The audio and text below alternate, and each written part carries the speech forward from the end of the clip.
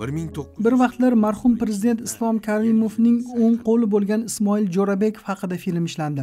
Sobiq mulozim rahbari islom karimovning xatosi juda ko'p bo'lganini va maslahatlarga quloq solganida bunday ahvolga kelmasligini ta'kidlagan. Favora tv tomonidan ishlangan filmda ismoil jo'rabekov sobiq rahbari islom karimov unga ikki marta odamlarni otish va tozalash haqida buyruq berganini aytgan. Asosiy o'zbekistonda janjal bo'lgan joyda kim tali qiladi jo'rabekov? Boshqa hech kim qo'ldan kelmaydi. Qayerda janjal bo'lsa jo'rabekov o'sha yerda. Masalan sizni eng murakkab joylarga yuborgan islom karimov. To'lka shunday. Keyin yana agar to'polon bo'lsa jazola jazola degan. Hey siz bilasizmi? Strelay расстреливай ot degani? Mana namanganda.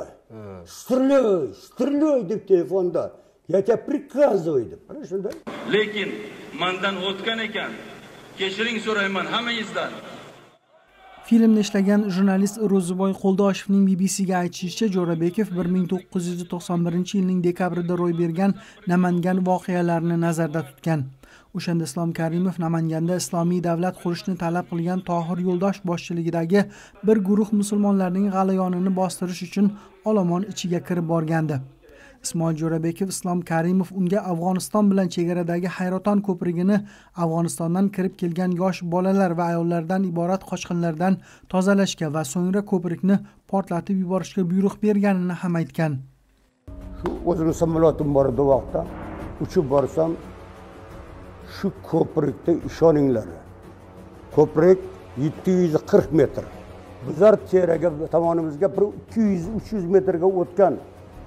Ayollar bolalar boshqasi emas. Yig'laganini ko'rsangiz haliyam ming marta rahmat smb bolalariga shu bir shunday devor qilib o'rab olib qo'ymadi o'tkazishga bu ayollar hammasi o'tib o'zbekistonda qolmoqchi bo'lganda boshqa iloji yo'q edi ularni yana chegarasiga qaytarib ularga ovqat berib kiyim berib ana shunda tinchitgan ularni.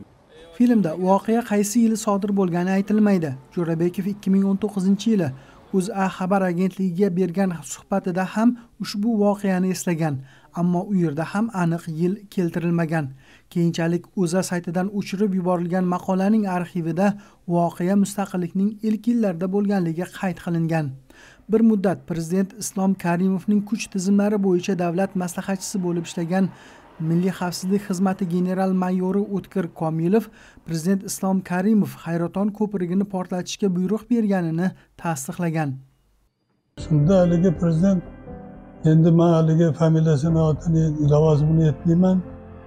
Shu yerda bitta e, vazirlardan bittasi telefonni oldi e, telefonni prezident so'radi berlaringga telefonni olib unga haligi topshiriq bo'ldi. Portlatasanlar desa есть товарищ командующий взорвать мост dedi. Shunda ismoil aka aytdilarki yo shoshilmalaring. Man turibman man bu yerda rahbarman. Man o'zim prezident bilan borib gaplashaman.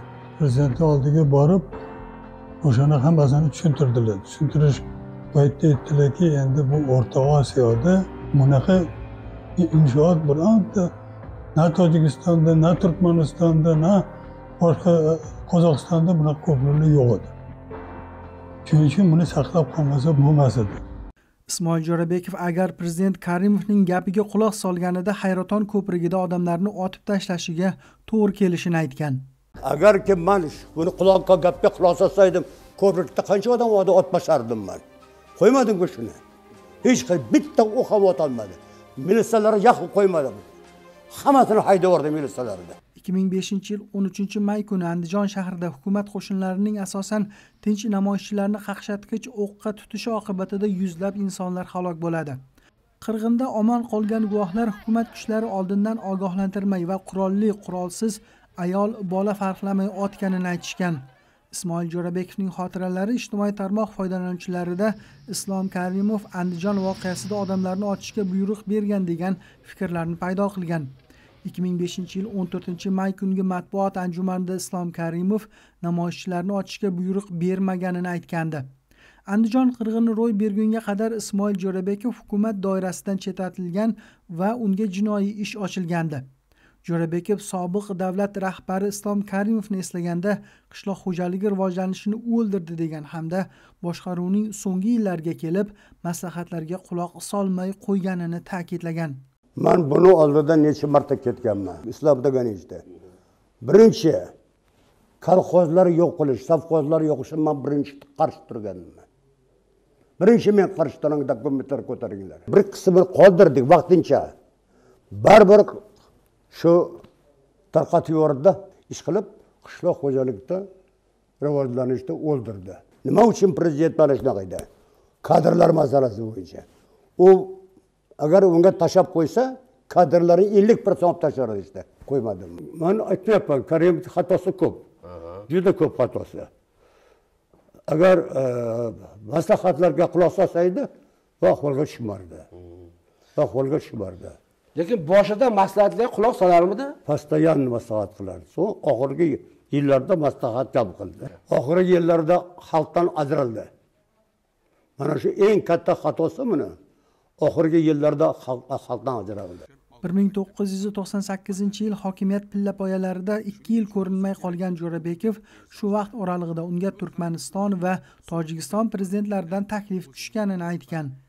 Ishdan ketgandan keyin birinchi turkmanboshi eng yaqin odam mani odam kecha yubordi oldimga. Uchta odam uchta moshina bilan kelib olib ketmoqchi bo'ldi. Birinchi muovinlikka turkmanboshi mani chaqirib birinchi muovinlikka chaqiryapti hammasini ko'rib eshitganda man bormadim. Imomali rahmonov tojikiston prezidenti. Ha u ham shunday iltimos qilib shunday iltimos qilib odamlar uyiga jo'natib moshinalar jo'natib kelsin mana joy bo'sh turibdi qo'yaman birinchi bovul deb bormadim unga. Jo'rabekov ikki minginchi yil prezidentning davlat maslahatchisi bo'lib ishga qaytgan. Oradan to'rt yil o'tib u yana ishdan ketgan. Filmda uning ikkinchi marta ishdan ketish sababi aytilmagan. Biroq bir ishdan ketish sababini marhum prezidentning to'ng'ich qizi gulnora karimova borasida islom karimov bilan kelisholmay qolgani bilan izohlagan. Karimov bilan janjal qilganimiz qizi ustida qizim ustidan shu arzon oldingi eng oxirgi arzonni yozib ketgandan keyin ikkalamiz ana shunday bo'ldik. Birinchi marta bordim oldiga. Islom deganingiz приведите порядка порядке свою дочь dedi qo'limda smbni dokumenti. Oldida qo'ydim прочитайте o'qidi nima dedi qo'ydi. Indamadi uchinchi marta keldim oldiga. Uchinchi marta. Magan aytdi что ты вмешиваешься degandan keyin o'sha kabinetda o'tirib bir varaq qog'ozni olib ariza berib прошу освободить меня от занимаемой должности в связи с состоянием моего здоровья я благодарен за, за, за работу совместно с вами deb qo'l qo'yib ikki ming to'rtinchi yilgacha karimovning davlat maslahatchisi sifatida ishlagan ismoil jo'rabekov shavkat mirziyoyev bosh vazir etib tayinlangach iste'foga chiqarilib nafaqaga jo'natilgandi. Oradan to'liq bir yil o'tib ikki ming beshinchi yilning o'n beshinchi fevral kuni xalq so'zi gazetasida o'zbekiston bosh prokuraturasi bo'lim boshlig'i e. Nuqta mingliyev imzosi bilan maqola chop etildi. Qishloq xo'jaligi qarz va mas'uliyat nomli maqolada bir necha yil ismoil jo'rabekov boshqargan deb ko'riluvchi qishloq xo'jaligi sohasidagi muammolar fosh qilingan. Maqola muallifi ismoil jo'rabekovni mansabini suiiste'mol qilishda katta miqdorda davlat va jamoatchilik mulkini o'marishda ayblaydi. Bosh prokuratura bundan tashqari ismoil jo'rabekov davlat maslahatchisi bo'lib yurgan vaqtda hukumat vakolatlariga kirgan masalalarni o'zicha yechgani boshqaruv idoralari faoliyatlariga asossiz aralashgani noqonuniy buyruqlar bergani va bularning hammasi salbiy oqibatlarga olib kelganini yozgan. Natijada bosh prokuratura ismoil jo'rabekovga jinoyat kodeksining uch moddasi bo'yicha jinoiy ish ochgan. Biroq jo'rabekovning aybiga to'liq iqror bo'lgani uning yoshi va sog'lig'ini inobatga olib o'zbekiston prezidentining konstitutsiya kuni munosabati bilan chiqargan amnistiya farmoni asosida jinoiy ish to'xtatilgan. Karimov vafotidan so'ng hokimiyat tepasiga kelgan shavkat mirziyoyev boshqa sobiq amaldorlar qatori ismoil jo'rabekov nomini ham oqlagan. Filmdagi suhbatdosh ismoil jo'rabekovdan sizga pora taklif qilgan holatlar bo'lganmi? deb so'raganida u hech qachon deb javob bergan. Katta lavozimda o'tirgan rahbarlarga katta manfaat ko'rish uchun biror lavozimga chiqish uchun ko'proq shu ayrim odamlarda pora taklif qiladiganlar bo'ladida. Sizni ish jarayoningizda ham shunaqa bo'lganmi? Sizni masalan Hech bironta odam qachon. mana deb hech qachon. Bo'lmagan. Yo'q.